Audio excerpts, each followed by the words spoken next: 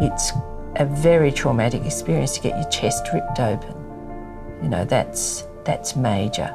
And we've advanced that physical and that technology so far, and yet a person can be left broken. It was like being impaled, and all of a sudden there's that feeling of uh, feeling fairly helpless actually, and how am I going to get through this? You know, I haven't got any tools, I've never had to deal with this.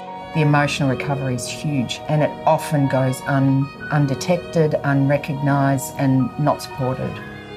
No one ever has mentioned to me that there might be um, a need for me to go and see somebody about psychological problems, emotional problems, cognitive problems.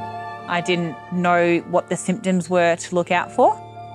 Um, so that all came as really a big shock to me. And so it took me quite a while to say to them, you know what, I think I need help. It's just like cutting my life in two. I think we are really alone on this road, and I would even go further, sometimes lonely.